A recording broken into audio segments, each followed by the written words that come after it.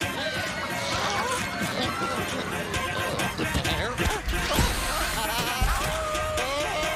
you spot the Cinnamojis in your bowl? Mm. For a limited time, try new Cinnamoji Toast Crunch, blasted with Cinnamoji faces. Part of this complete breakfast.